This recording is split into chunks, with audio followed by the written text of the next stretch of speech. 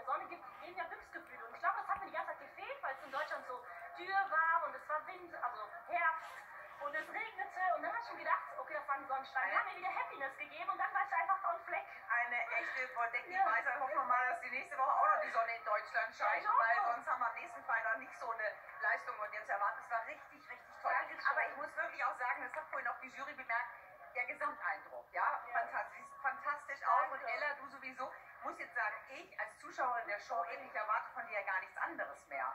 Ist aber auch irgendwie ein Druck, oder? Oh, du hast bist nicht verkabelt. Nee, genau.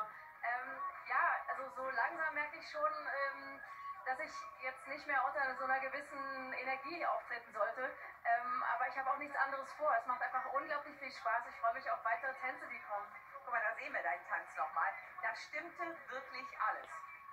Ja, manchmal fragt man sich so ein bisschen, was, wie, was passiert da in dem Moment? Was kommt da aus einem hervor? Auch so eine Drehung. Ähm, das macht man nicht bewusst. Das kommt einfach, kommt einfach aus einem Raum. Nee, Mann macht das nicht bewusst, aber du, ich würde es nicht bewusst machen, aber du machst es wahrscheinlich wirklich. Und äh, 35 Punkte tatsächlich, also eigentlich nur 30, aber 15 von Lambi, gab es glaube ich auch noch nicht. Dein Papa war heute im Publikum, hat der vielleicht auch noch ein bisschen seinen Teil dazu beigetragen? Ähm, mein Vater unterstützt mich natürlich und äh, er hat tänzerisch nicht viel beizutragen, musikalisch natürlich, weil er Musiker ist. Und ähm, der hat uns schon beim Samba geholfen, äh, beim Salsa geholfen. Äh, beim Samba hat er mich einfach äh, alleine gehen lassen und das war gut.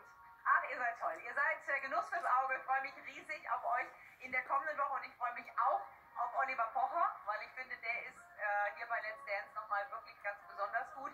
Der toppt sich auch jede Woche wieder selbst, äh, heute mit diesem Wahnsinnsgebiss. Und ähm, Reini Meißel hat ihn backstage begleitet und auch da gab es noch ein paar comment.